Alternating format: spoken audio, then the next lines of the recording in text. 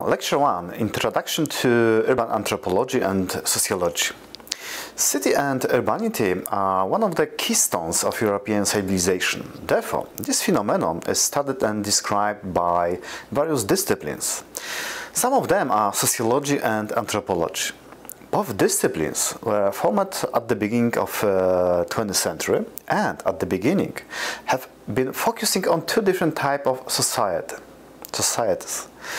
Sociology was focusing on the modern, industrial and urbanized society, which are defined as Gesellschaft according to well-known theory by Ferdinand Tönnies. Anthropology, by contrast, was studying traditional and local society described by Tönnies as uh, Gemeinschaft. Today, both disciplines are intertwined, focusing on the, the study of globalized, multicultural, and hybridized society at the age of uh, global urbanization. Theoretical background for sociology and anthropology of city was made by Chicago School, also uh, known as the Ecological School, which developed in Chicago the, uh, in the first part of 20th um, century. As the date of origin of this school is often indicated that the year 1950 when uh, Robert Ezra Park published the famous article, The City, Suggestion for Investigation of Human Behavior in the City, Environment.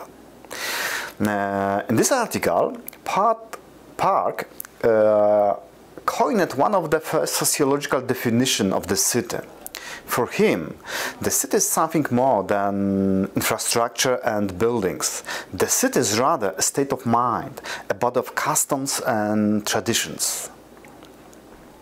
For sociologists and anthropologists for, from uh, the Chicago School, a city was perceived as a social laboratory. In fact, during that time, uh, Chicago could be treated like that. Mm, uh, this city has transformed themselves from a uh, small town into one of the biggest cities in the world just only during several decades. The theoretical background of Chicago School at the early stage was predominated by Darwin uh, evolutionary, uh, evolutionary biology. Therefore, a city was perceived as a web of, uh, web of life which, in which individuals, like organisms, adapt to each other. The process of adaptation is continuous struggle for existence, uh, in this case, a struggle for city space. Such struggle was uh, determined by five-step process. Uh, the first stage is uh, centralization a natural tendency to concentrate people and institutions. The second stage is uh, concentration, a natural process of bringing together people and institutions with similar characters in the same, uh, in the same area of the city. The third stage is segregation, uh, selection of people and institutions in the city space. The fourth stage, invasion, penetration of specific type of people from one area of the city to another. And finally, fifth stage is succession, the definite conquest of the area of the city by one group of uh, inhabitants. The concentric model zone by Ernest Burgess was one of one of the best known, the Chicago School theory of city, and model how different social groups are located in the city. As you can see on the picture, there is a five zones. Zone 1, Central Business District. This is a central uh, zone where the central uh, business district is located and, uh, has, and has highest land value. Zone 2, Transition Zone mixed, uh, mixed residential and commercial, a large number of uh, old uh, building in transition. Zone 3, inner city, uh, working class or so-called blue-collar zone, uh, consists of houses built to accumulated factory workers, but uh, had better condition than the transition zone. Zone 4, suburbs, uh, middle class, white collar uh, homes. The zone had bigger houses and new development uh, occupied by middle class. And finally, five zone is a zone of commuter. Commuters uh, uh, every day commuting to the city center.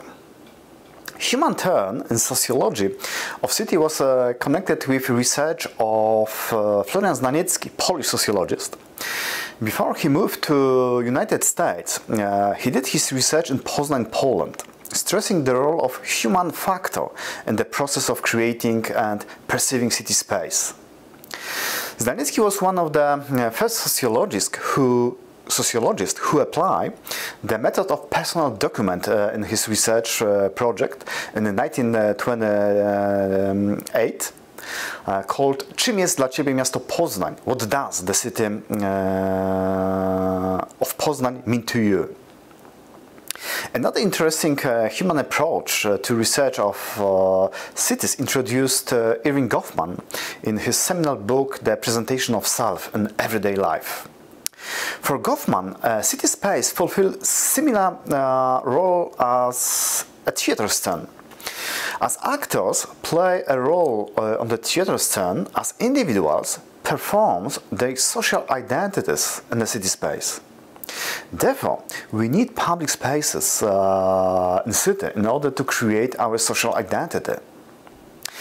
City, especially big city, creates specific way of life. Louis Wirth in his famous article, Urbanism as a Way of Life, uh, published in 1938, believed that there is some specific um, specificity about living in the um, city that change the way that people interact and believe. For him, crucial factor which create specific urban way of life are destinity, heterogeneity of uh, population, specialization of function, anonymity, interpersonality, and standardization of behavior. All these feature, features, all these features create specific pattern of culture, urban way of life. Mental map theory uh, mental map uh, theory, theory, was described by Kevin Lynch uh, in the book The Image of the City, uh, published in 1960. in this book, Lynch compares three American cities, Boston, New Jersey and Los Angeles. And he compares the cities and looks at uh, how people orient themselves uh, in the cities. Lynch argued that people in urban situ situation orient themselves by um, some kind of mental maps. For him, there is a five basic elements that people use to construct their image of the city, so-called mental map. The first is paths, roads, along which people uh, move uh, throughout the city, such as streets, sidewalks, pavements, etc. Next is edges, boundaries, which could be real boundaries, like for example uh, walls, or symbolic boundaries, um, such as class or ethnic gated communities, or gangs or football hooligans graffiti on the walls. Uh, next is districts, are specific area, area with um, their own social and cultural identity. The next is nodes. Uh, nodes is a central squares, central station when uh, different people may meet together uh, in one space in the city. And the final is uh, landmarks, uh, point of reference, symbolic buildings, symbolic uh, monuments, etc. All these five elements create mental map of uh, the city for their users. Semiotic aspect of the city. Anthropologists put special attention on uh, semiotic aspect of the city, mythology and symbolism. This feature is especially important for European cities which are uh, deeply rooted in history and whose symbolic space have created had, had created uh, a longue durée process by different ethnic and religious groups. Russian semiotics uh, Yuri Lotman pointed out that city is a complex semiotic mechanism, a culture generation generator. Uh, this very important aspect in the process of create, creation of identity of city. A city is too complex organism to have uh, one unique identity. Social actors who acting and living in the city need frame of reference. Uh, in this case, urban narratives that create a symbolic picture of uh, the world and give meaning uh, to such action, actions. Also, social memory plays an important role, uh, allowing uh, residents to find their roots in the city, and this issue will be discussed uh, in the next lectures.